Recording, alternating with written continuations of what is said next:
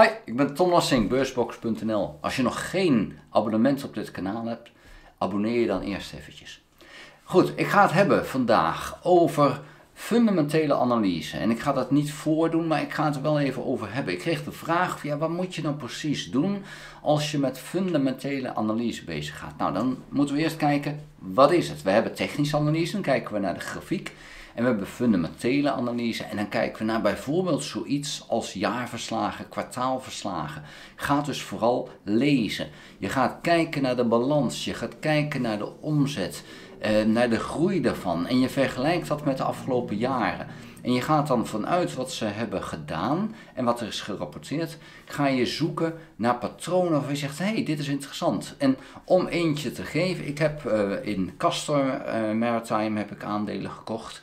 En daar, er zit een heel leuk ding in en een heel slecht ding in dat, uh, dat bedrijf. Nou, het hele mooie is dat ze hebben geld opgehaald. Dat was op zich niet slecht. En met dat geld zijn ze schepen aan het kopen. En die schepen verhuren ze eigenlijk al direct. Nou, we weten ook dat de huidige wereldeconomie aantrekt, dat er meer scheepsruimte gevraagd wordt. En ze zitten dus een goede markt. Ze zetten hun geld enorm goed in kopen schepen. Ze hebben afgelopen, wat is het, woensdag hebben ze weer een schip gekocht, dus nu vrijdag, voor 14,5 miljoen. Dat schip gaan ze binnenkort, in mei gaan ze dat al geleverd krijgen. Is al voor enkele maanden verhuurd. Ja, dat is fantastisch dat je op die manier bezig gaat en dat je dus eigenlijk je geld direct inzet. En uh, de uh, verhuur van jouw schepen, want ze verhuren die schepen, die is ja, ongelooflijk hoog. Die ligt gewoon nu boven de 90%. Terwijl dat een jaar geleden, ja, als ze toen al zo groot waren, maar toen hadden ze pas vijf schepen, nu hebben ze de 20. Um, een jaar geleden was de, de verhuur bij wijze van spreken 40%, dat was dan veel. En nu is het gewoon 90% en plus. Dus dat, is een enorm verschil. Dus die gaan een enorme omzet maken. Die gaan ook enorme cashflow krijgen. Nou, en dat is het positieve. Dat haal je uit fundamentele analyse. Dat is een kwestie van de jaarverslagen lezen en kijken, maar dan ook zoeken naar bijvoorbeeld zaken als ja, wat is je uh, verhuurpercentage. En op het moment dat je dat dan enorm ziet oplopen, maar je ziet de koers eigenlijk heel erg naar beneden gaan, ja, dan ga je opletten.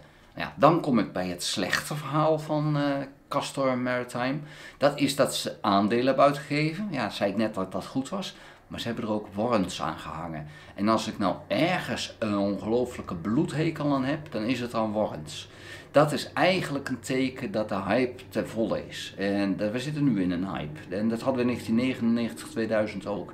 En eigenlijk is dat een heel slechte zaak. En die warrants die geven het recht om voor 66 cent of 65 cent de aankomende vijf jaar aandelen te kopen. Ja, daarmee zeg je eigenlijk van deze aandelen van ons, die komen niet boven de 65 cent.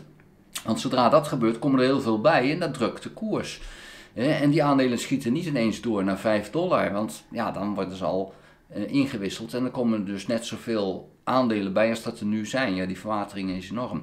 Dus die warrants die zorgen er eigenlijk voor dat de koers niet omhoog kan. Nou, nou is de koers van Castor 50. Ik heb gekocht op 54. En 65 ligt daarboven. Nou, en ik had het idee de afgelopen dagen van ja, goed, het is nu omhoog aan het gaan. Ik zie dus dat ze heel goed doen voor wat betreft de aankopen, heel slim. En ik hoop dat het toch even doorzet. En dat hij dan doorzet naar, zeg even, 75. En dat hij daarna dan terugkomt omdat de warrants worden uitgeoefend. Misschien al. Ja, helaas uh, viel het eigenlijk in een hele slechte markt, mijn, uh, mijn aankoop. En de aandelen gingen direct terug naar 52 cent. Ik kocht op 54 cent. Dus ja, dat was even jammer. Dus ik heb nu weer een extra setje aandelen. Het was geen bloedbedrag hoor, het waren maar 800 aandelen. Dus dat is het punt niet. Maar goed, het is gewoon jammer dat het niet goed kwam. Het mooie zou zijn als je zo'n verhaal hebt zonder die warrants. Ja, dan was dit gewoon een fantastisch verhaal geweest. Maar die klote warrants die zitten erbij. En dat maakt het gewoon heel lastig. En ja, dat is gewoon waardeloos. Maar dat is dus wel fundamentele analyse door zo'n verhaal erachter te lezen. En door de jaarverslagen te lezen, de kwartaalverslagen als ze er zijn. En te zoeken naar bedrijven waarvan je ziet van hé, hey, dit gaat veel beter als dat het vorig jaar ging. Maar ik zie dat nog niet terug in de koers. Nou, dat is het mooie van fundamentele analyse. En Warren Buffett heeft ooit eens de tip gegeven, en dat ben ik nog steeds, je pakt een jaarverslag en je begint achteraan. Want de eerste 20 pagina's zijn allerlei redenen waarom we zeggen van waarom zijn we niet verantwoordelijk voor foutjes. Ja, leuk, maar dat, dat willen we niet lezen. dus er zijn allemaal disclaimers en dan heb je 20, soms wel 40 pagina's alleen maar disclaimers. Als je dat begint te lezen, dan ben je al op voordat je komt bij de stukken die interessant zijn. Nou, waar is het interessant? Achterin, want dan komen de cijfers. Nou, dus je begint achterin en je bladert naar voren.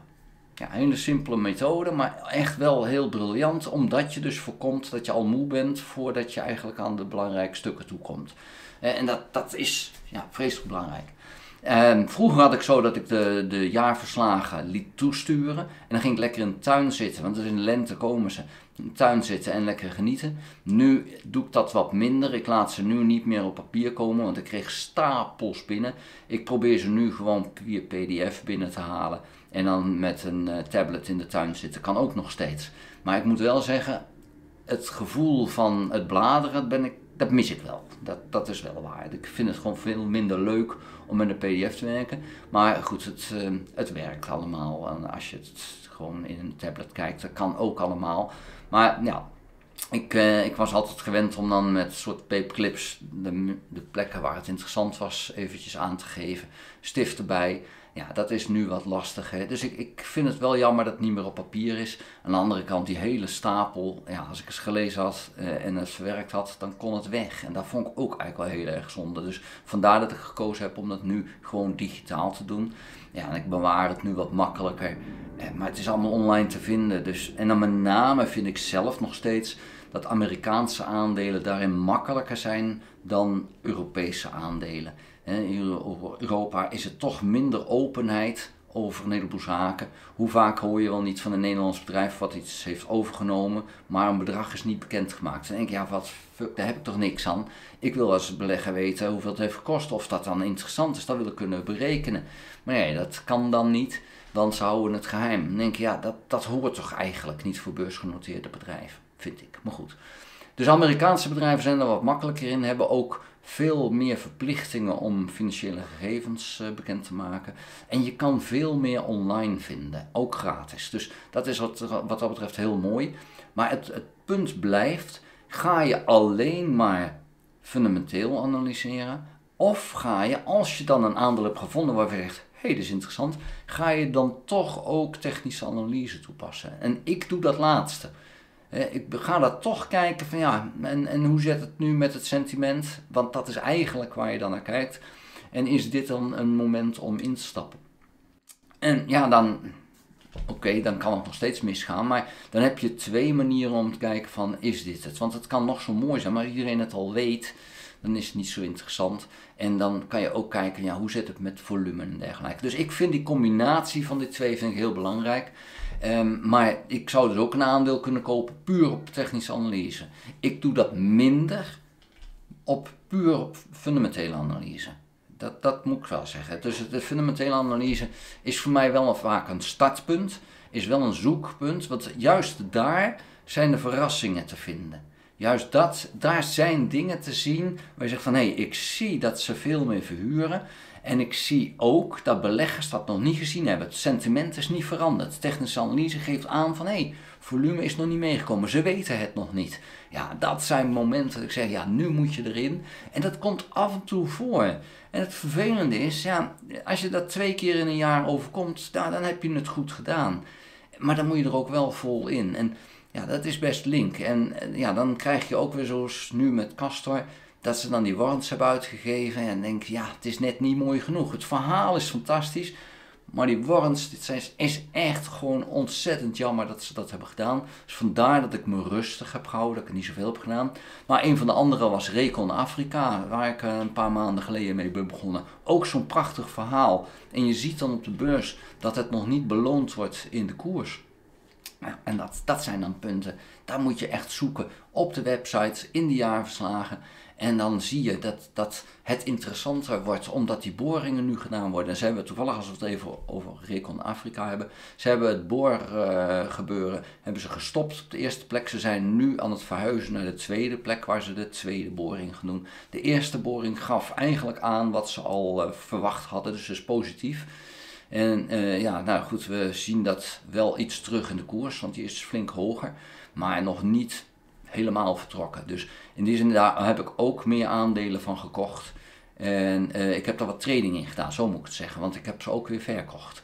Ik had wat aandeeltjes gekocht, twee transacties gedaan en um, ja, twee keer met winst weer uitgestapt. Ik heb nu 500 aandelen Recon Afrika en ik heb 2000 aandelen Reo en uh, Reconnaissance Energy. Dus in die zin, het is geen enorm bedrag wat ik erin heb zitten. Maar ja, goed, dat hoeft ook niet. Ik heb andere dingen waar ik wel uh, mijn geld in heb zitten. En ja, ik vind het gewoon leuk om te doen. Maar dat zijn aandelen die dus 10 kunnen gaan. Maar ook daar zit je met het feit, ze hebben straks heel veel geld nodig. Hoe gaan ze aan dat geld komen? Op welke manier ja, gaat er gewerkt worden? Gaan ze het lenen? Gaan ze aandelen uitgeven? Gaan ze onderdelen verkopen?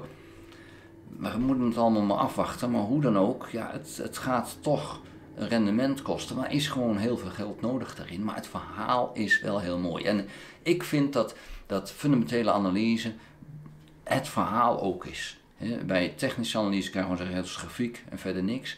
Ja, het, het verhaal erachter, dat is meer fundamentele analyse. En dan lees je die verslagen.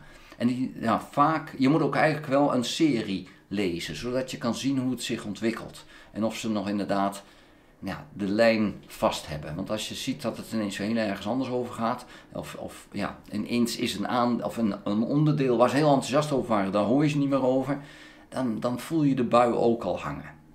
Daar moet je naar zoeken. En het gaat niet om puur alleen die cijfers, het gaat ook om van wat vertel je als, als CEO, als bedrijf. En dat heb je drie keer verteld over een bepaalde, ik noem maar wat, een bepaalde mijn waar je enthousiast over bent en de vierde keer niet. Ja, dan, dan is dus het punt van, oké, wat is daar aan de hand? Dat haal je uit die fundamentele analyse. Goed, daar laat ik het bij. Ik hoop dat je er wat aan hebt. Als je het interessant vond, geef een like. En uh, deel het eventueel met anderen op, uh, op social media. Zou ik ook leuk vinden. Tot de volgende keer. Houdoe.